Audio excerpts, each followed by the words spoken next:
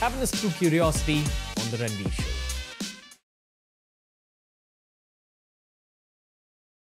This is a great point to begin speaking about the tribals of India Mhm.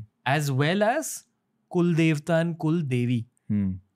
Um, I recently found out that my Punjabi side of my family is from Amritsar, but Hmm. originally we are from Pakistan. And apparently, so we migrated before the partition into Hmm. Amritsar. Hmm. Uh, but apparently, when that migration happened, they also brought the Kuldevi from Pakistan and kept it in a village somewhere near Amritsar.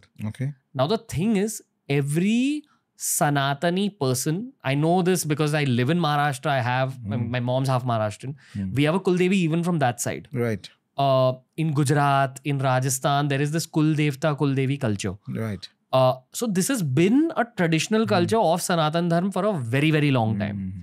And each of these Kuldevis has their own name, their Hmm. own identity. How are they related to any of the Devis that we've spoken about until this point on the show? Kali No, no, it's not about related. So Kula Devi, Kula Devata could be any deity. There are many people who may have Bhairava as a Kula Devata. There are people who may have Vishnu as a Kula Devata. There are people in South who may have Tirupati as a Kula Devata. Kula Devata basically means a deity who has been connected to your family for at least three generations or more. That's it. That's it. Could So- be any deity. So if my Kul Devi is that Devi in Amritsar, uh, today if I am doing my Bhairav Upasana and I take it forward and my children do the same and their children do the same, my family's Kul Devata becomes Bhairav. No, it's, it's slightly more complicated. Suppose you attain Bhairav Siddhi. Oh, okay. Bhairava Baba actually comes and all that. And then your at least three to four generations continues. But that is very rare among humans. So basically, what we do is we follow the Kula Devata that has been sort of worshipped by the family so far as it's possible to remember, like that.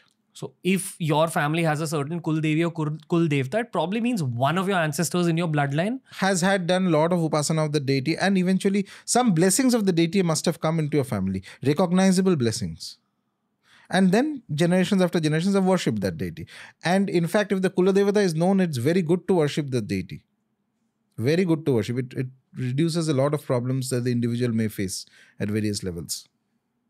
Because the deity has already some link to that Kula. It's in your blood. It's in your blood. That way. Rishabh Shetty made Kantara. His Ah. family's probably blessed by Panjurli Dev. Okay. I'm assuming so. Maybe. Like he made the movie, so it came out through him. right and that's that's one no so so there is the thing uh, blessings of a deity can come otherwise also Okay. but kuladevata is a very specific concept that a family has been worshipping a deity uh, significantly worshipping for multiple generations that is the kuladevata I want to do one little different thing on the show. Lakshmi Bhaiya ko bulao. This thought of a Kuldev actually came from him. Because I asked him, who do you worship? And he's like, nahi, hamare gaon mein, in our village, we have that one specific god. I was like, who, who is it a form of? And I don't think he knew the form. He's like, nahi, nahi, he gave me the name, whatever the name is, which is what I'm going to call him in for.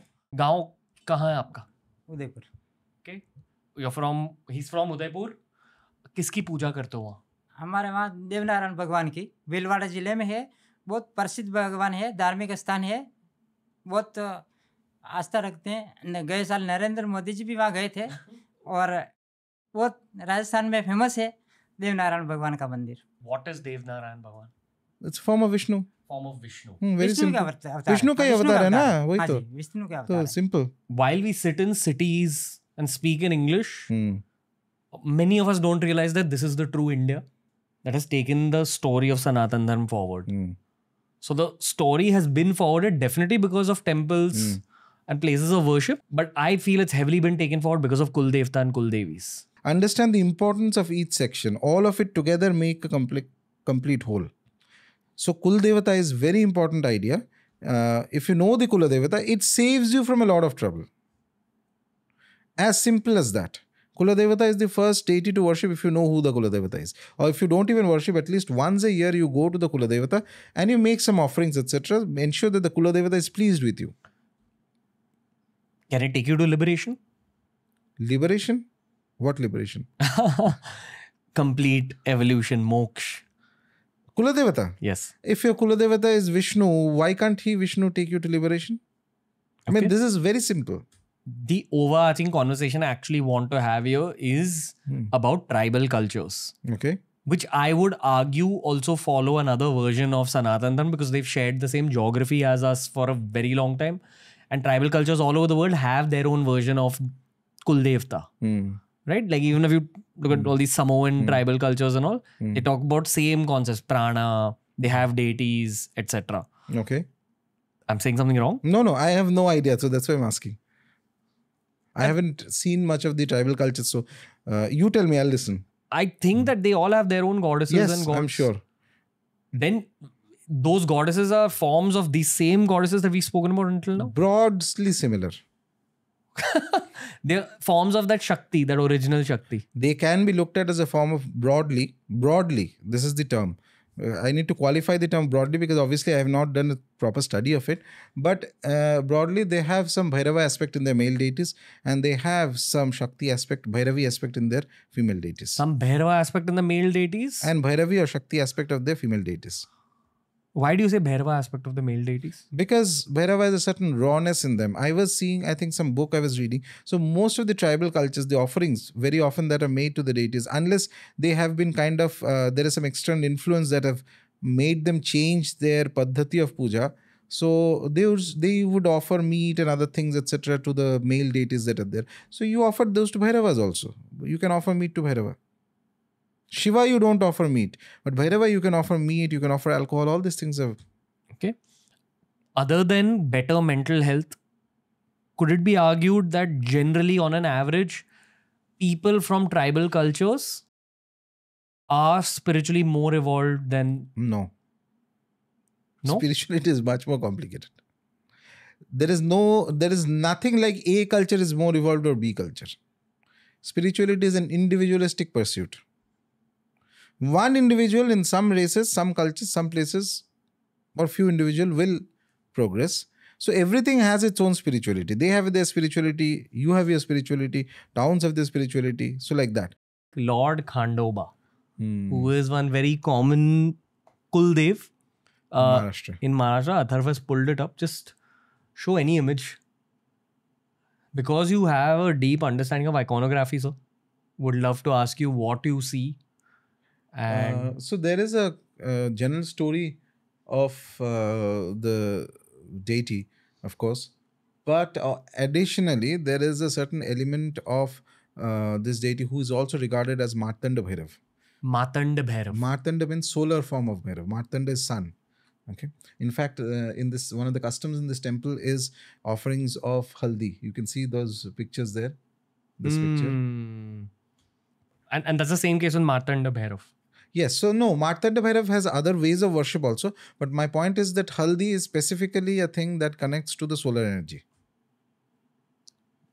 So even if you're praying to Surya Dev, I'm assuming Haldi. uh, depends. so, but more or less, so that is like a like a a form of Bhairava. You can take it as that, and it's very aggressive, and a lot of people worship him, and a lot of people believe that a lot of benefits come from worshiping him. From Lord Khandoba? Yeah. Hmm. Uh, can you show Martanda Bhairav? Uh, open that third image, that Pinterest one. The mustache.